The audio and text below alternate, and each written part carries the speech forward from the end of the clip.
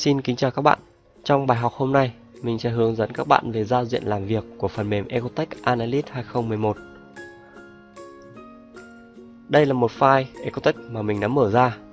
Các bạn sẽ thấy nó có giao diện khá giống rất nhiều phần mềm khác, nhất là các phần mềm như là SketchUp hay là Rhino.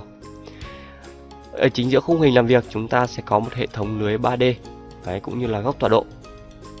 Tiếp theo các bạn sẽ thấy rằng cái giao diện làm việc nó bao gồm thứ nhất mục file edit view, hay còn gọi là mục menu bar ở đây.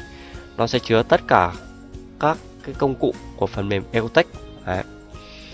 tiếp theo, ở đây chính là nơi chúng ta sẽ thiết lập các thông số về thời gian, ngày, tháng, các thông số về khí hậu mà chúng ta sẽ tính toán trong phần mềm. Tiếp theo ở đây là các công cụ như là tạo mô hình mới, mở một mô hình, hay là các công cụ in ấn cũng như thiết lập về mô hình hay là về vật liệu đấy, thư viện vân vân. Ở cạnh đây là các cái thông số về bắt điểm cũng như là các công cụ hỗ trợ chúng ta dựng hình. Tiếp theo phía dưới này các bạn sẽ thấy chúng ta có các công cụ trong giúp chúng ta trong quá trình dựng hình đối tượng như là di chuyển xoay đấy, co kéo đối xứng hay là extrude cùng các công cụ về trim đấy, insert line join line. Ở đây nó có ba công cụ để giúp chúng ta nhóm và gộp các đối tượng với nhau. Ở đây có các công cụ về dựng hình như là tạo cửa cửa sổ voi và panel. Tiếp theo ở đây chúng ta sẽ có hai bộ công cụ bên trái và bên phải. Đầu tiên là bên trái chúng ta sẽ vào project. Ở trong một project các bạn sẽ thiết lập các thông tin về mô hình Đấy, cũng như thông tin về cái dự án về cái dữ, dữ liệu thời tiết cũng như là hướng ngày giờ ví độ kinh ví độ vân vân. Đây tiếp theo mục 3D editor là nơi chúng ta sẽ có các công cụ về dựng hình như là select move công cụ về đo Đấy, các công cụ về vẽ các đường điểm line hay các công cụ về dựng zone Đấy, hay là các công cụ tạo các đối tượng ánh sáng à, âm thanh vân vân ở đây. Tiếp theo mục visualize là nơi chúng ta sẽ hiển thị đối tượng mô hình của chúng ta dưới các tác động về ánh sáng, vật liệu, các hiển thị. Ở đây mình lưu ý các bạn rằng trong phần mềm Ecotech để xoay mô hình các bạn sẽ dùng chuột phải, Đấy, con chuột phải, lưu ý các bạn. Và các bạn có thể sử dụng chuột giữa để pan. Đấy. Ở đây các bạn sẽ thấy chúng ta cũng có các thiết các công cụ để giúp các bạn cái, có thể di chuyển xoay trở trong khung mô hình. Đấy.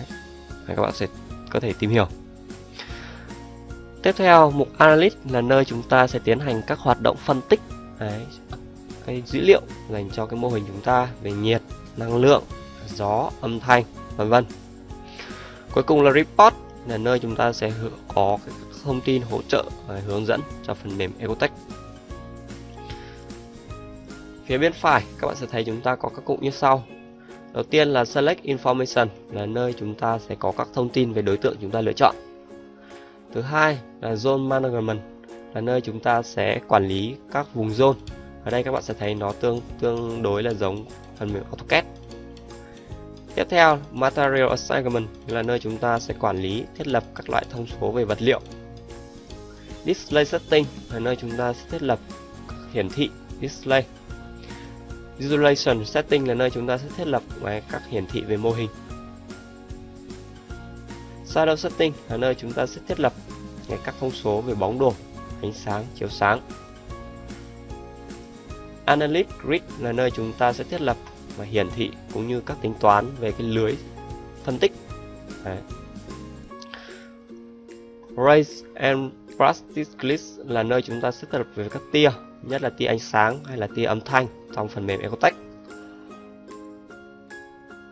Ở đây có mục script của Enwizard là nơi chúng ta sẽ chứa các công cụ về dựng hình bằng các cái nhóm lệnh đã có sẵn. Ví dụ như là dựng hình các khối, mái, các khối đặc biệt. Ở đây bạn sẽ có các công cụ để dựng hình điều đấy.